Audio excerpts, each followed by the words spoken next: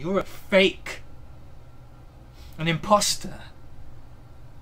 You talk about your great book, your great creation. And sure, I mean, there isn't a newspaper or journal to be found in which you and your book aren't favourably mentioned. Who remembers me? No one. No one. I've been banished to obscurity. And the critics, they were glad to see me go. It involved too much effort to extract any thought from my heavy abstractions. It, it overworked their poor little brains. But you, the great vulgarizer, you made my work comprehensible even to pigs and horses. They don't have to think anymore. They don't have to reason because you have absolved them of that. They simply read your words and then they spit them back like some kind of silly mantra. You know, you you you dressed my Apollo in his cheap suit, my Venus in his second-hand dress, and you gave my principled hero the ears of an ass. But what do you care?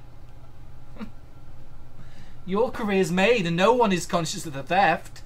They applaud you wherever you go. Writers, they'll they'll imitate you. You'll be seen as the father of this important movement. But meanwhile, I can't even look in the paper without being confronted by by faces in which I recognize the traits of my own children, my literary children. Countless hours locked away in the study, struggling to find a new language, a new vernacular.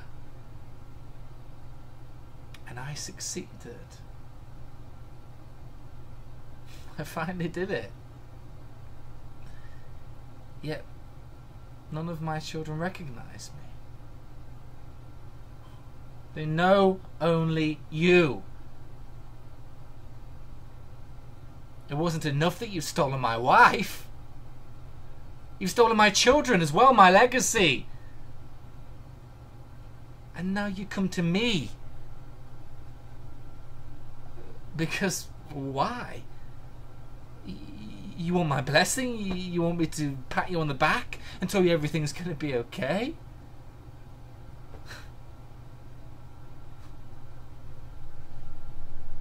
Fine. Take it.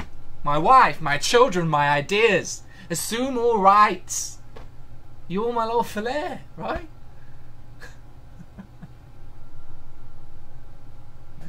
you know what's funny?